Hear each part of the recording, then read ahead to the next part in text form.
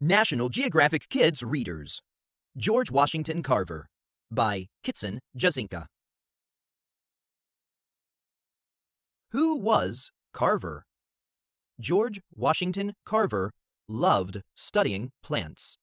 He showed farmers how to grow sustainable, sa, stain, a, bull, crops that helped them farm better and eat better.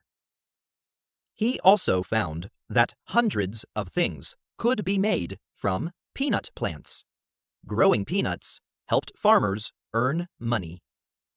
Words to know. Sustainable. Grown in a way that keeps the soil healthy. This painting of George Washington Carver was made in 1942. Many black farmers were too poor to buy their own land. Instead, they had to rent it. They paid the owner a share of their crops. In Carver's time, life was hard for many black people in the United States. They did not have the same rights as white people. Carver felt that this was wrong. He used his ideas about farming to help change people's lives. Carver was one of the most famous African Americans of his time. Growing up George Washington Carver was born on a farm near Diamond, Missouri, USA. Most people think he was born around 1864. No one knows for sure. But we do know he was born a slave. Back then, slaves were often given their owner's last name. George's owners were Moses and Susan Carver. So, his last name was Carver, too. The cabin where Carver lived as a boy is gone. This outline photo above was built later to show how small it was.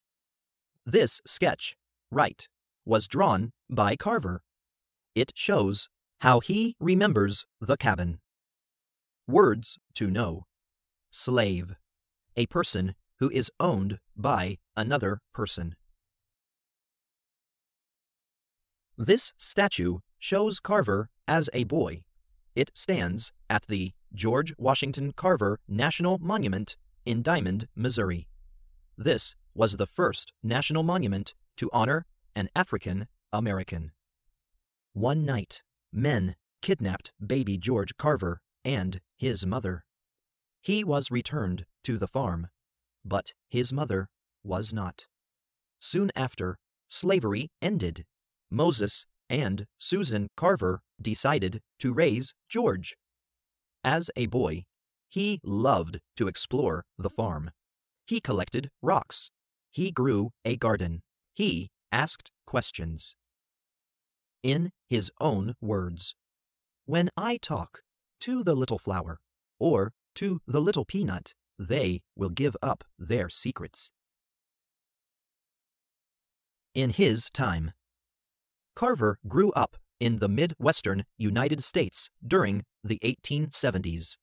Back then, many things were different from how they are today. Transportation. Many people traveled on foot, in wagons pulled by horses, or by steamboat or train. Money. Most freed slaves had little or no money. They often traded for things they needed. Food. Few people shopped in stores for food. Instead, they raised farm animals. They also grew fruits and vegetables to feed their families. School. Children went to school in one-room schoolhouses, or even old barns. U.S. Events in 1872, Ulysses S. Grant was re-elected President of the United States. Toys and Fun Children spent time outdoors and played with handmade toys. A love of learning. Carver loved to learn, but in his town, black children could not go to school. Carver learned to read at home. He had only one book. Carver wanted to learn more. At around age 13, he left home. He lived with a black family in a nearby town. There, he went to a school for black children. This drawing shows a school for black children during Carver's time. In his own words, My soul thirsted for an education. Later, Carver wanted to go to college. Many black Americans still faced racism, ray, um. One school would not let Carver in because he was black. But he didn't give up. He became the first black student at Iowa State College. He studied agriculture, ag-ri-culture. In 1894, Carver got his degree from Iowa State College, shown below. Words to know. Racism. The belief that one group of people is better than another. Agriculture. The science of farming. 6. Cool facts about Carver. 1. Carver grew up on a farm with horses, cattle, honeybees, and wheat crops. 2.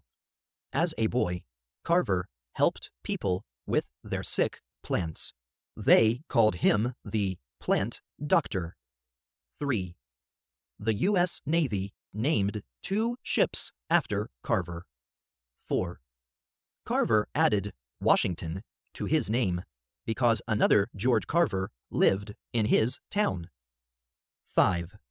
Carver loved art. He made paint from berries. He tied twigs together for a brush. 6. Three U.S. presidents asked for Carver's advice on farming. Helping others. After college, Carver became a teacher. He worked at a school in Alabama called Tuskegee Institute. Ski, gi, in, sta, toot. There, he did important work with plants. He found many new ways to use sweet potatoes and soybeans.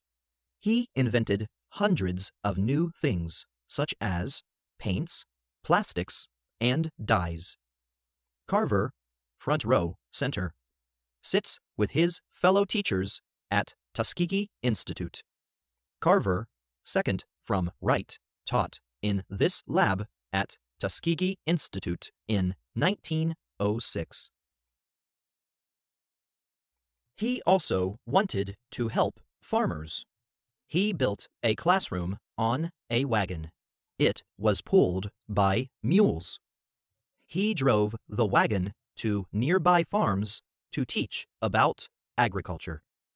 This was the first wagon classroom Carver used. Most farmers couldn't come to Carver's classroom, so Carver wanted to bring his ideas to them. Carver thought that planting peanuts could help farmers too. Peanut plants would keep the soil healthy. Farmers could also sell this crop to earn more money. Carver had found more than 300 ways to use peanut plants. They could be turned into glue, medicine, gasoline, and even paper. Carver said a massage with peanut oil could help a sick person. The oil was sold in bottles like these. Good ideas. Carver traveled. He gave speeches about farming. He spoke about peanuts. He also spoke about treating all people fairly. In 1921, he spoke to the U.S. Congress. Some people in Congress didn't want to listen to a black man, but he had good ideas. Finally, Congress listened. They shared his ideas with others. In his own words, I want to feel that my life has been of some service to my fellow man. 1864, born around this year. 1865, slavery ends in the United States. 1877, leaves home to go to school. 1894, earns his first degree from Iowa State College. 1896, earns another degree from Iowa State College. Hard work. Carver died in 1943. He was around 79 years old. Carver's hard work helped many people. His ideas helped poor farmers have better lives.